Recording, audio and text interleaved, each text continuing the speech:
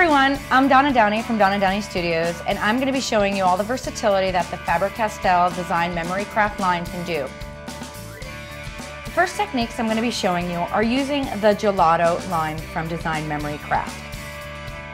They are in a wide array of colors and I'm going to show you some techniques with water and some techniques without to incorporate into your art projects.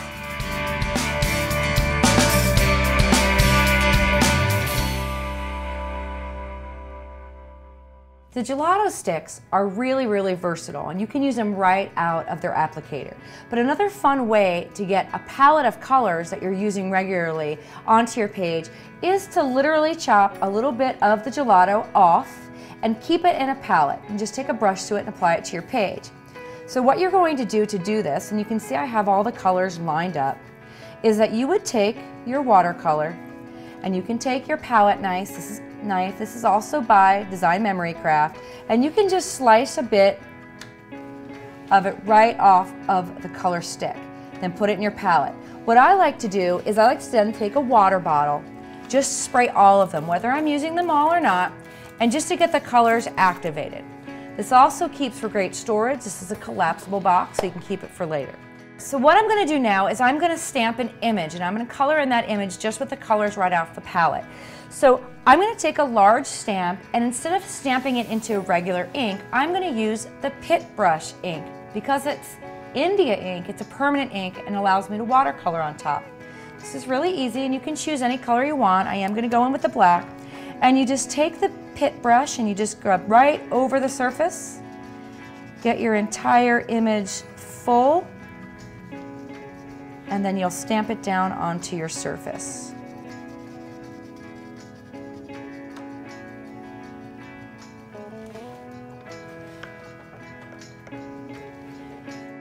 Now that I've got my image down, I'm going to go in with my paintbrush and just pick up that color right off of the gelato piece in there. And then I'm just going to start to shade in my flower.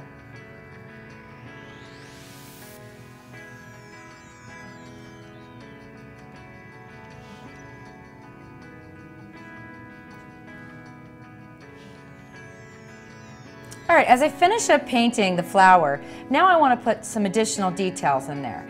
And I'm going to use the Big Brush Pitt pens for that. So I've got two different shades of red and some green. And I'm just going to go in with the brush right along that line and then use my finger to blend in all those nice shading details. Because this is on a gessoed surface, it allows me that time to blend the permanent ink and it will have a nice dark rich contrast.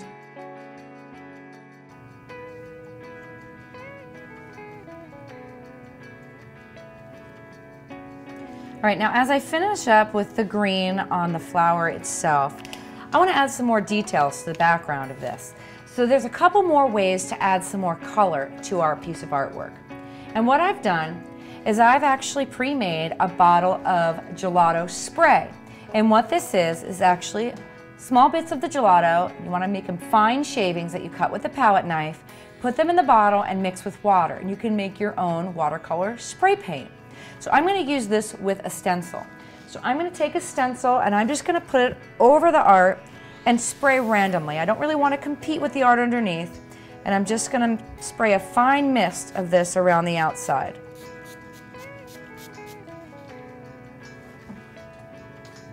And you can see how the gelato is just as vibrant as a spray as it is as a stick. So for a bolder effect, I'm going to be using a colored pencil and I am going to go around the edge just to tighten that up and give it a little bit more pop. Now I can also spray this with a little bit of water when we're done, or I can keep it nice and tight.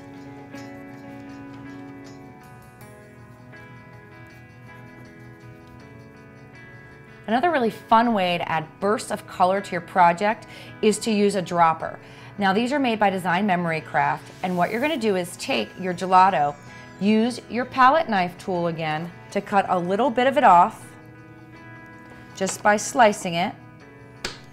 Once you've mixed your gelato with water and you've put it in your dropper, then it's really easy to add bursts of color to your work. In this case, we're adding some bright pink.